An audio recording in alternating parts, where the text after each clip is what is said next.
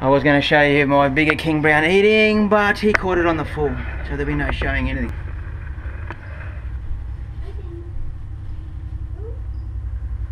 But anyway.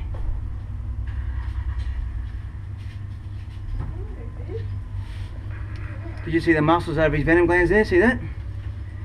These guys got the highest venom yield, up to 1,350 milligrams. And the big bulges on the side of his head, you can actually see the muscles contracting and pumping the venom in.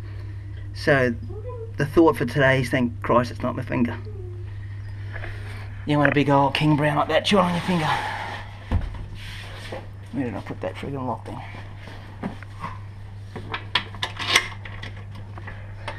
There's my old male fishy. He's actually losing condition. I have a feeling that he's uh, too old. I've had him for about 12 years and he was already an adult when I got him. So if he was a human, he'd be getting around in a wheelchair.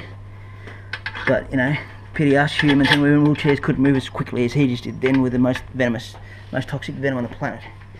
Anyway.